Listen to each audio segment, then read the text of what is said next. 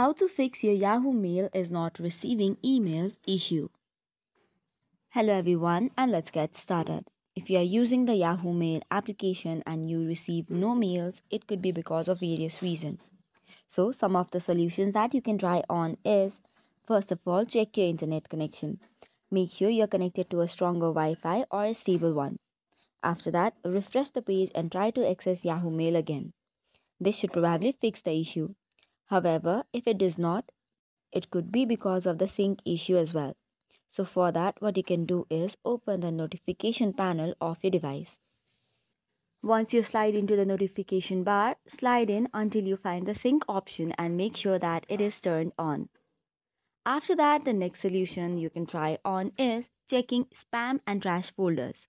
Sometimes spam or the trash folders by mistake could end up with receiving incoming mails. So check these folders to see if any legitimate emails have been filtered incorrectly. Next up, you have to update your application. For this, go to the Play Store, search for Yahoo Mail, and if there's an update button, make sure to tap on it. Likewise, if you want to contact support or the customer support, you'll find the email there as well.